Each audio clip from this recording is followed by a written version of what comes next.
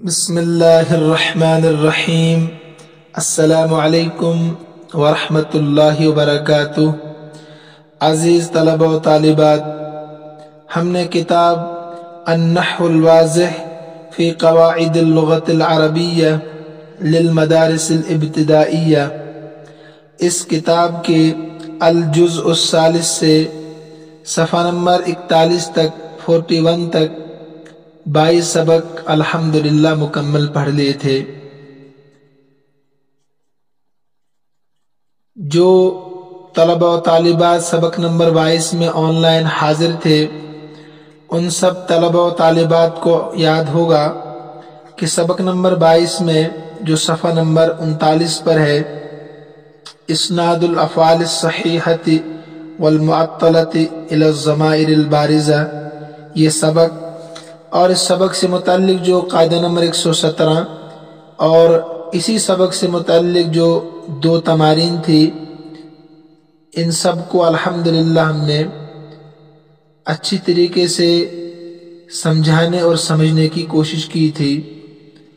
मैं उम्मीद कर रहा हूँ कि आपने सबक भी समझा होगा और कायदा भी याद किया होगा और जो दो तमारीन थी इस सबक से मुतलिक इनको भी आपने हल करने की कोशिश की होगी। और जो तलबा और तालिबात सबक नंबर 22 में ऑनलाइन हाजिर नहीं थे, और उसके बाद अभी तक उन्होंने सबक नहीं सुना, इसलिए कि सबक आपके यूट्यूब चैनल पर मौजूद रहता है, आप कहीं भी, कभी भी इस्तेफादा कर सकते हैं।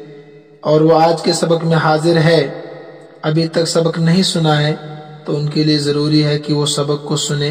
सबक नंबर 22 को, ताकि अगले इसबाक समझना आसान हो। आइए हम शुरू करते हैं आज का सबक। आज का सबक सफ़ा नंबर इकतालीस पर ही है। इसनादुल मुजाफ़ी वल अजवफ़ी इला जमाइर रफ़िल बारिजा। मुजाफ और अजवफ के साथ समाइर रफ़ा बारिजा का इत्तिसाल देखिए मुजाफ और अजवफ इनको हम तफसील से पीछे पढ़कर आए हैं मुजाफ कहते हैं जिस फेल में एक ही जिन्स के दो हरफ हों उसको मुजाफ कहते हैं ना अजवफ कहते हैं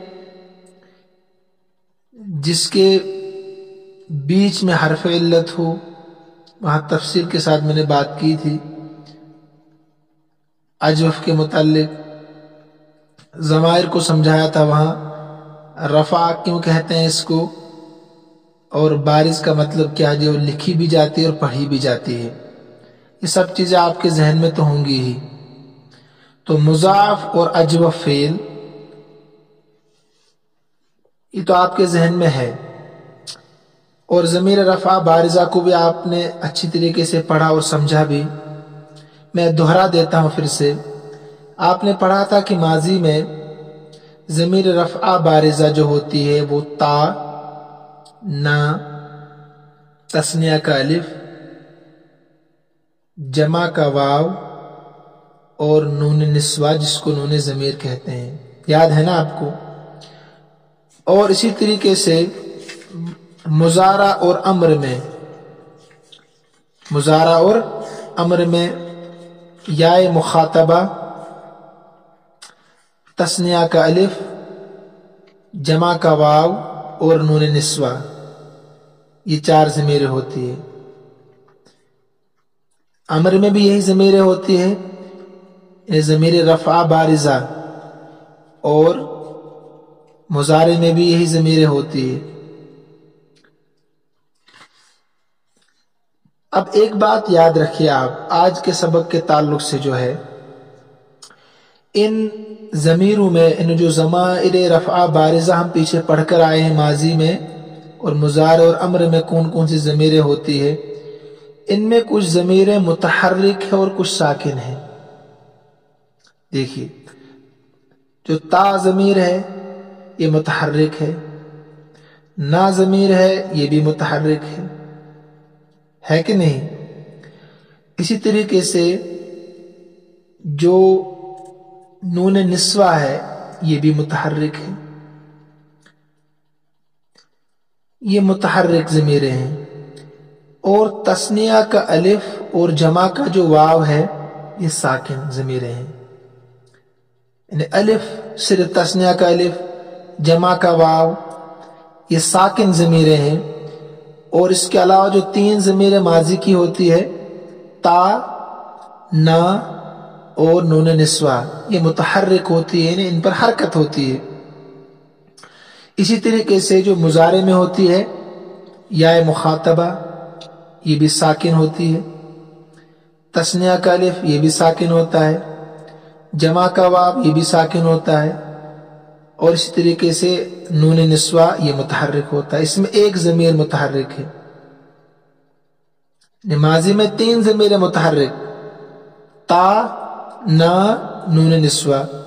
मुजारा और अम्र में सिर्फ़ एक जमीर मुतहरक वो नून निस्वा है। ठीक है? इनको जहन में रखिए आप।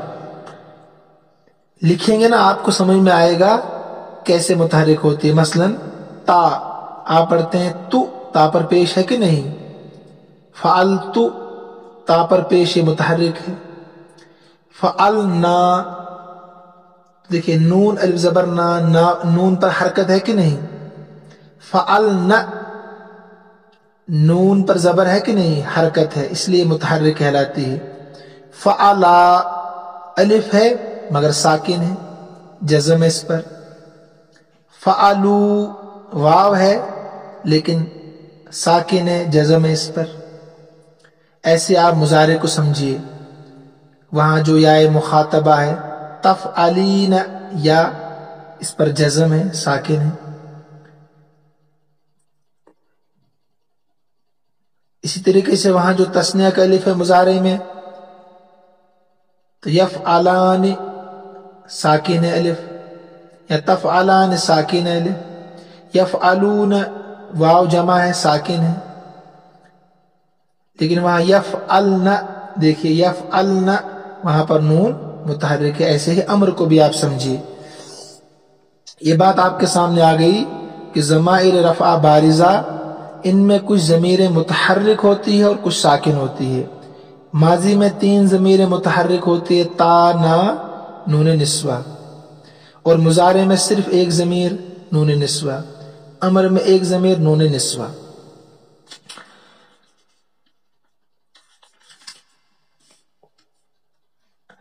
अब अगर मुजाफ फेल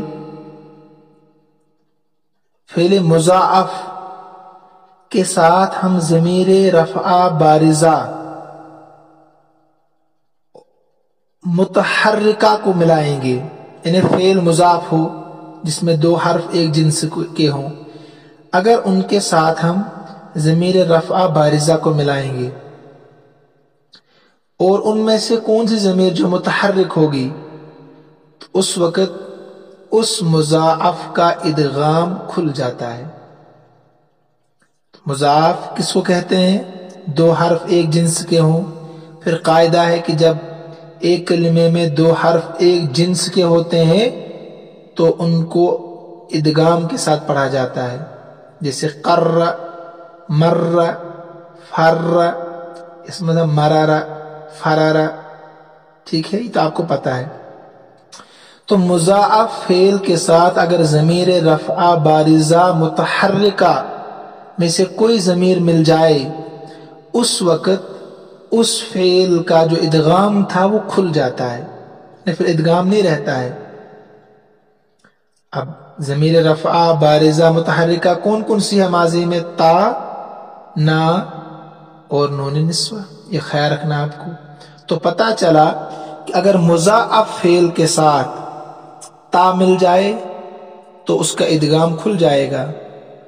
ना मिल जाए तो इदगाम खुल जाएगा। नून निस्वा मिल जाए तो इदगाम खुल जाएगा। ये कायदा आपको याद रखना है। कायदा नंबर 118 लेकिन अगर मुजाफ फेल के साथ जमीर रफा साकिन मिल जाए, वो कौन कौन से है? तस्निया का अलिफ और जमा का वाव। अगर ये मिल जाए मुजाफ फेल के साथ, को कोई तब्दीली नहीं आएगी। फेल जैसे था ऐसे ही रहेगा। पहले कायदा समझिए।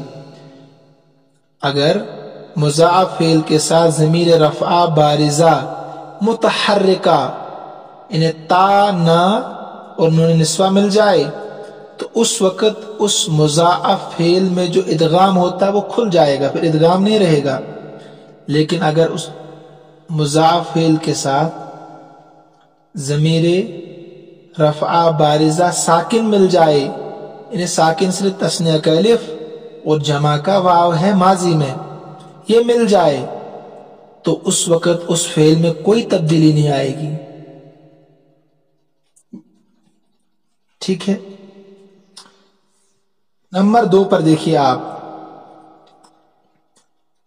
कायदा नंबर 119 जो है, जब अजवफ फेल का आखिरी हर्फ साकिन हो जाए, अजवफ फेल, अजवफ कहते हैं जिसके बीच में हर्फ इल्लत हो, अजवफ फेल का आखिरी हर्फ साकिन हो जाए तो बीच में जो हर्फ इल्लत होगा ना, वो गिर जाता है हजफ हो जाता है। बिल्कुल आसान है। समझ में आ रहा कि नहीं? अजव फेल जो होता है, अगर उसका आखिरी हर्फ साकिन हो जाए लाम कलमा साकिन हो जाए तो उस वक्त जो बीच में हर्फ इल्लत होता है, वो हजफ हो जाता है। ये दो कायदे आपको पढ़ने आज के सब, बिल्कुल आसान है। अब आइए हम सबक पढ़ते हैं मिसालों के साथ। इसनादुल मुजाफी वल अजवफी इला रफिल बारिजा मुजाफ और अजवफ के साथ जमीर रफ़ा बारिजा का मिला हुआ होना या मुजाफ और अजवफ को मंसूब करना जमीर रफ़ा बारिजा की तरफ़ देखिए शक का एक फेल है मिसाल देखिए शक का एक फेल है असल में था शक्का। क्या था? तो दो हर्फ एक जिन्स के जमा हो गए ना दो काफ एक जिन्स के।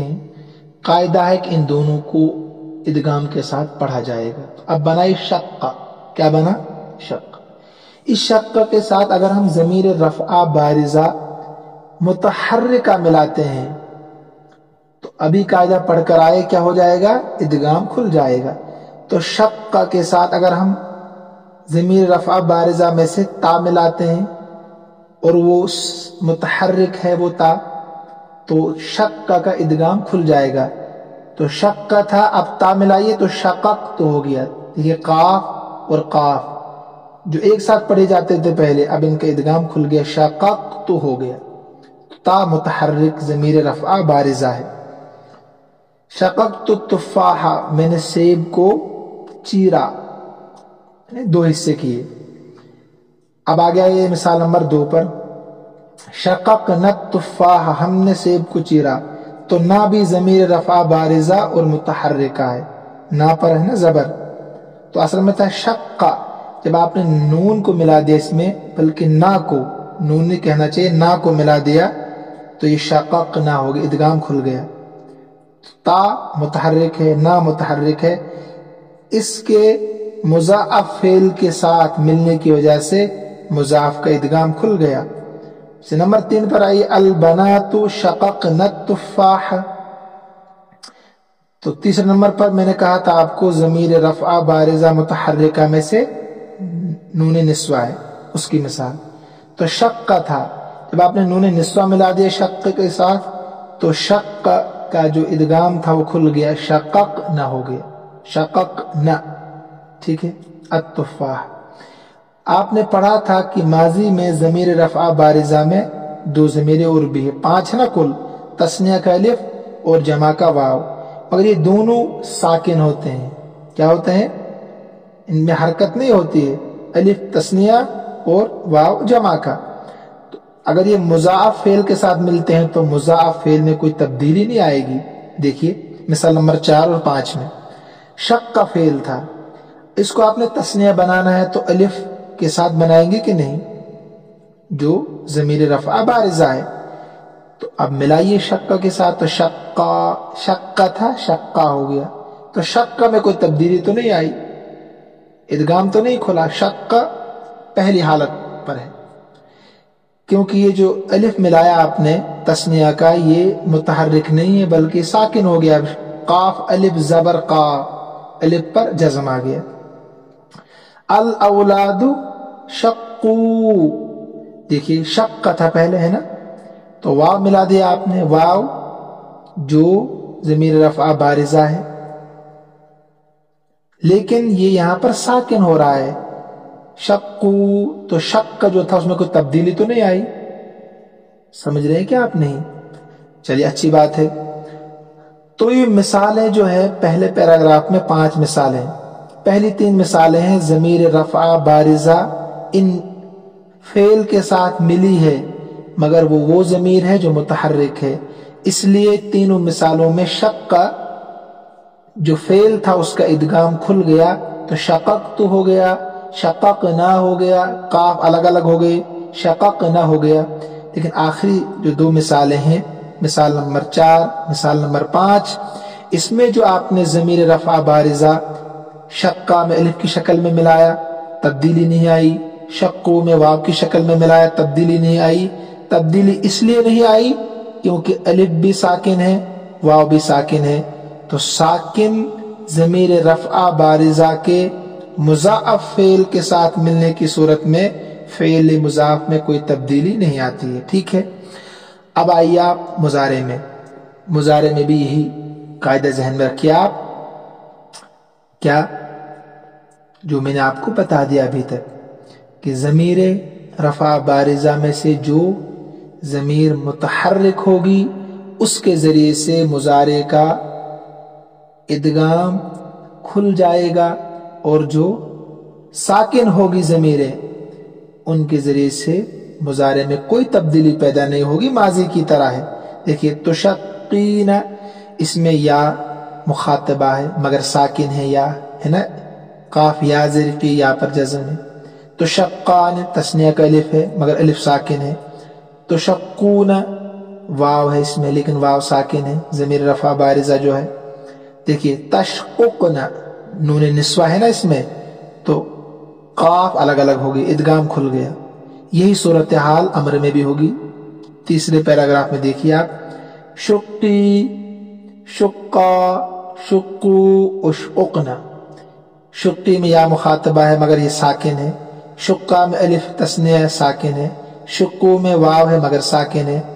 उशकुकन में नून जमीर है, नून निस्वा है।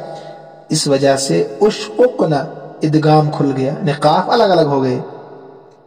ये मिसालें थी मुसाफ की सारी। तीनों पैराग्राफ हमने जो पढ़े हैं, ये मुजाफ फेल की थी। पहला था माजी का, दूसरा मुजारे का, तीसरा अमर का। अमर और मुजारे में यही जमीर होती है। या मुखातबा अलिफ तस्निया वाव जमा और उन्होंने निस्वा अब आइए निचली मिसालों में जो नीचे दी गई है, यह है अजवफ फेल की। अजवफ कहते हैं जिसका बीच वाला हर्फ हर्फ इल्लत हो। काला असल में है, काला। कायदा वही जो मैंने आपको समझा दिया। अगर अजवफ फेल का आखिरी हर्फ साकिन हो जाए तो बीच वाला हर्फ, जो हरफ इल्लत होता है, वो हजफ हो जाता है। काला था असल में फिर। क्या था? काला। बाकी कायदा वही हो बहु जब इनके साथ आप जमीर रफा बारिजा मुतहरिका को मिलाएँगे तो क्या होगा? आखिर हर्फ साकिन हो जाएगा। जब आखिर हर्फ साकिन होगा तो बीच वाला हर्फ हर्फ इल्लत गिर जाए यानी अजव फेल में जब आप ज़मीर रफ़ा बारिजा मुतहरिका वही उसूल मिलाएँगे ना इनके आखिर में ज़मीर रफ़ा बारिजा मुतहरिका को मिलाएँगे तो उस अजव फेल का आखिर हर्फ खुद ब खुद साकिन हो जाएगा। जब वो साकिन हो जाएगा तो उससे पहले वाला, बीच वाला जो हर्फ इल्लत है, वो हजफ हो जाएगा। देखिए, काला था असल में। काला के साथ आप जब ज़मीर रफ़ा, बारिजा मुतहरिका को मिलाते हैं तो काल क्या बना? कुल तो देखिए कुल तो जो आखिरी हरफ था ना, लाम, काला में आखिरी हरफ लाम था, वो साकिन हो गया। तो बीच वाला जो काला, अलिफ था ना, काफ, अलिफ जबर का, वो अलिफ गिर गया। ऐसे समझे आप कुल ना काला था जब ना मिला दिया तो लाम साकिन हो गया। जब लाम साकिन हो गया तो अलिफ गिर गया। ऐसे कुल आपने नून निस्वा मिला दिया, काला था तो हो गया कुल अलिफ, हजफ हो खूब हो ऊपर की तरह। जब अजब फेल के साथ जमीर रफा, बारिजा मुतहरिका को आप मिलाएँगे तो उस वक्त आखिर वाला हर्फ साकिन हो जाता है। उस अजवफ का आखिरी वाला हर्फ साकिन हो जाता है। जब वो साकिन होगा तो बीच वाला जो हर्फ इल्लत है वो गिर जाएगा। जैसे यहाँ इन तीनों मिसालों में अलिफ गिर चुका है। चौथी मिसाल देखिए, अल वलदान काला अल हक। दो लड़कों ने हक बात कही। देखिए, काला, इसमें आपने अलिफ तस्निया का मिलाया जो जमीर रफा बारिजा है, मगर वो मुतहरक नहीं है, अलिफ तस्निया साकिन है ना? तो काला, जैसे पहले था, ऐसे रहा। काला काला हो गया। उसकी शक्ल में कोई तब्दीली तो नहीं आई काला में? ऐसे ही कालू, वाव मिला दिया, साकिन है तो काला में कोई तब्दीली नहीं आई। जैसे तीन हार पहले थे, ऐसे अब भी है। लाम जैसे पहले था मुतहरिक अब भी मुतहरिक है। एक सवाल और भी हो सकता है आप के जहन में शायद नहीं आया कि लाम पर तो पहले जबर था पेश क्यों आया? ये अलग कायदा है। वाव अपने से पहले पेश ही चाहता है। जैसे या अपने से माकबल हर्फ पर जेर चाहती है ऐसे ही वाव का तकाजा होता है कि मुझसे पहले जो हर्फ है, उस पर पेश होना चाहिए। तो बहरहाल यहाँ आपको समझना है कि यहाँ पर काला, तस्ने के लिफ से काला में कोई तब्दीली नहीं आई। कालू, वाव के मिलाने से काला में कोई तब्दीली नहीं आई। ये तो माजी की मिसाल है। इहबू मुजारो को ऐसे समझिए। जैसे तकूलीन तो या मुखातबा है मगर साकिन है। तकूलान, देखिए तकूलान। अलिफ है इसमें जमीर रफा बारिजा, मगर साकिन है। तकूलून, वाव है इसमें जमीर का, मगर साकिन है। इसलिए कोई तब्दीली इसमें नहीं देखेंगे आप। है ना? लेकिन तकुल्ला में तब्दीली आ गई, अलिफ गिर गया, है ना? अलिफ इसमें गिर चुका है। क्यों गिर चुका अलिफ? इसलिए गिर गया है इसमें नून निस्वा है। ऐसे ही कुल में देखिए, कूली या मुखातबा है, कूला, अलिफ तस्निया है, कूलू, वाव जमा है, कुल इसमें नून निस्वा है। इसलिए बीच बार आखिरी हर्फ साकिन हो गया तो बीच वाला हर्फ इल्लत जो है, वो गिर जाता है। कोई भी हर्फ इल्लत हो, वो बीच में जो होगा, वो गिर जाएगा। देखिए, मिसालें आपके सामने आ गई। अब आप कायदा देखिए। तर्जमा, इजा उस निदल फ़िलमुज़ाफ़ु सफ़ा नंबर थर्टी, फोर्टी थ्री पर देखिए, फोर्टी थ्री पर। इजा उस निदल फ़िलमुज़ाफ़ु जब मंसूब किया जाए, फ़ेल मुजाफ को ज़मीर रफ़ा बारिजा मुतहरिका की तरफ़। ये मुतहरिका लाजमी याद रखिएगा आप। मैंने समझा दिया आपको फ़ुक का इदगाम तो उस मुजाफ फेल का इदगाम ख़त्म हो जाएगा। जब मुजाफ फेल को मंसूब किया जाएगा ज़मीर रफ़ा बारिजा मुतहरक की तरफ़ तो उसका इदगाम खुल जाएगा। कायदा नंबर एक सौ उन्नीस देखिए, इजा सकन आखिर फेल अजवफ, जब फेल अजवफ का आखिर हर्फ साकिन हो जाए। किसके वजह से? ज़मीन रफ़ा बारिजा मुतहरिका के मिलने की वजह से। तो वस्तु तो बीच वाला हर्फ जो होगा वो हजफ हो जाए। बीच वाला हर्फ हजफ हो जाएगा